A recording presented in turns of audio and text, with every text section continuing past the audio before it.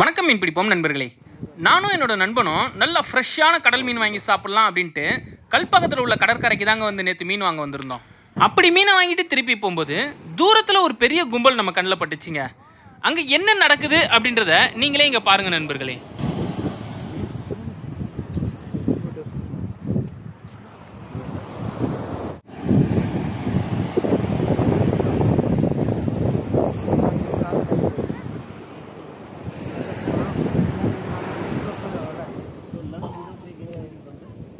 இறந்து போய் கரை ஒதுங்கி இருந்த ஒரு மீனை ஒரு பெரிய மருத்துவர் குழுவே சேர்ந்து ஆராய்ச்சி பண்ணிட்டு தாங்க இருந்தாங்க இந்த இடத்துல.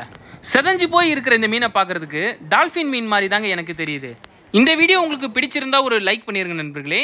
மேலும் ஃபிஷிங் வீடியோஸ் நிறைய நம்ம சேனல்ல இருக்கு. அது எல்லாத்தையும் பார்க்கறதுக்கு நம்ம சேனலில் சப்ஸ்கிரைப் பண்ணி பக்கத்தில் இருக்க பெல் பட்டனையும் ப்ரெஸ் பண்ணி வச்சுக்கோங்க. நன்றி வணக்கம்.